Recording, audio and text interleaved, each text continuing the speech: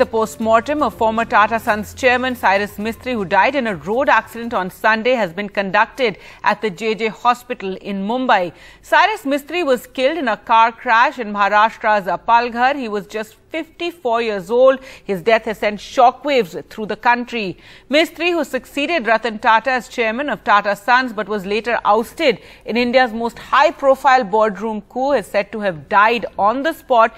And he was uh, traveling uh, from Gujarat's Udwada, where he'd gone to visit a fire temple, uh, back to Mumbai in a Mercedes, which hit the road divider at the Charoti area of Palghar. That's 135 kilometers uh, from Mumbai. He was sitting in the back seat seat. Uh, pictures from the accident site showed the mangled remains of the silver Mercedes. Along with Mistry, Jahangir Pandole, uh, Dr. Anahita Pandole and Darius Pandole were present in the car. Jahangir Pandole, brother of Darius Pandole, is the other person who died in the accident. He was sitting in the back seat along with Cyrus Mistry. According uh, to what NDTV has learned from police sources, it's likely uh, that the two were not wearing seat belts. It was Anahita who was at the wheel of the car and lost control while overtaking. And the police sources say they're trying to retrieve data from the car chip. Let's go across to NDTV Sohit now for more. And Sohit, so the post-mortem has taken place. Uh, when will the funeral take place? And also tell us what the police are saying. Uh, well, yes, the post-mortem uh, happened in the, today morning itself when the uh, mortal remains reached the JJ hospital in Mumbai. And officially, the hospital has handed over the bodies to the families, but the families have requested the hospital to keep the bodies at the hospital for some time as relatives, relatives are yet to reach Mumbai. So once the relatives reach Mumbai, only after then we can uh, give more details on when will the uh, when will the uh, funeral uh, take place. So that totally depends on uh, the family members of Cyrus Mistry. So that is one thing uh, that needs to be uh, noted, and uh, we are trying to get more details from the family on when exactly are they planning or what exactly are their plans. Uh, when will they be taking the body from the JJ hospital? On the other hand, uh, the police, yes, they are investigating the matter. The forensic team and the RTO officials were at the spot last night to collect the samples to change the sequence of events that led to the accident. The police is also working with the RTO officials and the car is being inspected uh, all high-end vehicles have a chip which is similar to a black box. Police is trying to retrieve data from the vehicle too. As of now, it looks like due to overspeeding, the car wasn't under control, which led to the accident.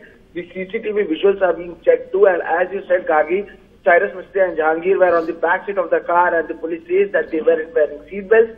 The airbags present at the back seat did not open. However, the investigation is still going on.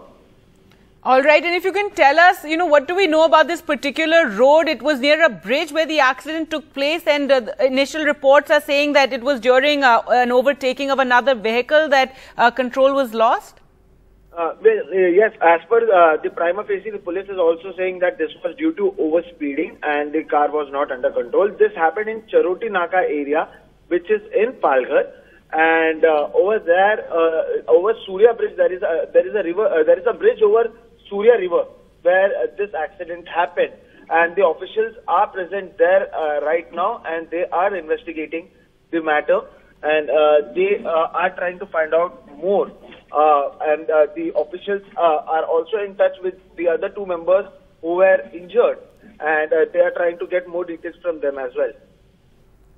All right, uh, Sohit, thanks so much for joining us uh, with those details. We're also joined by Siddharth Vinayak Patankar, editor-in-chief Car and Bike, uh, you know, to understand more about uh, car safety. And Siddharth, so at this point, what do we know about the, uh, you know, in terms of the safety uh, in this car? It was a Mercedes. One would have expected, you know, again, for laymen, if you could explain to us, it's such a tragic accident and such a shocking one. Uh, we know that there are airbags. There's also information preliminary that perhaps uh, uh, Cyrus Mistry, who was sitting in the back seat, was not wearing a seatbelt.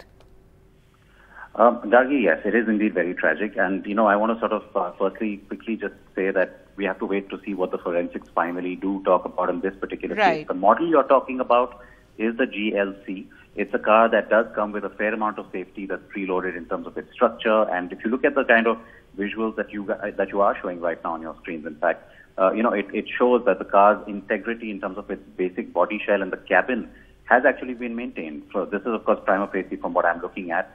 You can also see curtain airbags that have got deployed at the back. So, you know, I want to quickly sort of mention that it visually seems that the curtain airbags did deploy. But the point I want to make is that this is a frontal impact. In the case of a frontal impact, if an individual is not wearing their seatbelt, they will be thrown forward. Uh, a curtain airbag only comes into play or, or helps, let's say, when you are uh, moving from side to side in an impact situation and not forward.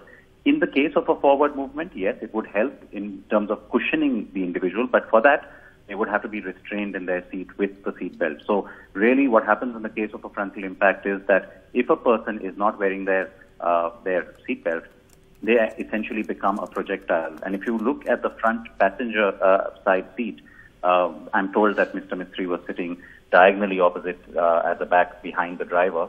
Uh, so if you look at the seat in front of where he was sitting, uh, from what I have heard from, from my sources, um, it looks like the whole seat has got pushed forward, and that's likely uh, happened because he was thrown forward.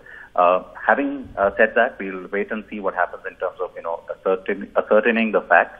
If he had in fact been wearing his uh, seatbelt, then of course there's a whole big question mark in terms of what has happened. Uh, otherwise, of course, yes, not wearing the seatbelt is really one of the the saddest things that happens. You know, most people don't wear their seatbelts in the rear seats. Uh, most people feel like it's okay not to. Uh, so really, this is not a question of airbags if the seatbelts were not in use. Right. And, and Siddharth, you know, uh, we've done campaigns on road safety here at NDTV, but uh, wearing of the seatbelts, this is something that we are meant to do, but again, it's not a common practice, unfortunately. In fact, I must tell you that a lot of us have been petitioning uh, Minister Gadkari exactly to say that, you know, it should become law, just like wearing front seatbelts is required or mandated. Uh, and you have an audio warning in most cars now. In fact, by law, you need that. If you don't wear your seatbelt, the car will keep ringing or reminding you, either visually or through an audio warning. Uh, we keep saying that that same should be done for the rear seats.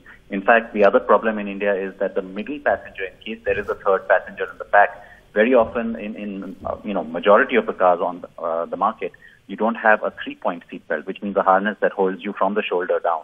Uh, it's just a lap belt for the middle passenger. That again can be dangerous. So these are some of the things that yes do need to be taken into consideration. In fact, when uh, we had uh, Union Minister Gopinath Munde also succumbing to uh, you know his uh, uh, accident on the roads of Delhi, at the time the same question had come up that you know why aren't we imposing rear seat belt uh, usage? This is something that you know I agree that just simply having a law is not going to maybe change practices. But yes, we need more awareness around it, and certainly, certainly on the highway, even more so at higher speeds, even within the city, this just becomes absolutely necessary, Gargi. Right. And Siddharth, if you could just explain uh, this, uh, what curtain airbags are. This, these are the airbags at the back of the car for the back passengers, but they are there on the side. And so, uh, given that this was a frontal impact, it wouldn't have helped? Uh, essentially, yes. In layman's speak, uh, you know, you don't have an airbag that deploys into the face of a passenger in a sense uh, at the back. Some cars do have it, and these are, of course, very high-end cars. But regulation on most cars is that you will have, uh, you know, if you look at injury patterns or if you look at accident patterns globally, uh, more injury occurs when you have a side impact, or even in the case of a front impact, a passenger at the rear being thrown into the side of the car, or the side, let's say the you know glass or other elements uh, impacting them that is where a curtain airbag comes into play. So it's it's along the headline of the uh, of the vehicle. It deploys uh, like a literally like a curtain. And if you look at some of the visuals that are on the screen, you see this bluish green element that appears to be the curtain airbag. Of course, I'll have to sort of confirm this uh, from this individual case, but it it basically protects the head and neck region from any kind of impact, especially from you know things like glass or or any exterior protrusions. Uh, that is the role of a, of a curtain airbag. It's not meant to sort of hold you back in your seat. The only thing that can do that is the seatbelt, Gargi. That's right. And, and so that finally, uh, as you said, this is a Mercedes and usually, you know, these high-end luxury cars are, you're more prone to speeding in them. And unfortunately, many Indian roads are just not conducive uh, to, uh, you know, speeding cars and, and the kind of obstructions that can suddenly come in the way this car crashed into a divider. That's right. And if you look at the kind of uh, you know reports we've got about this particular spot, uh, you essentially have three lanes that suddenly go into two lanes, and so uh, the driver, whether at high speed or otherwise, will have to make a very quick snap judgment in terms of whether they want to get into the service road uh, on the old bridge or into the uh, two lanes on the new bridge.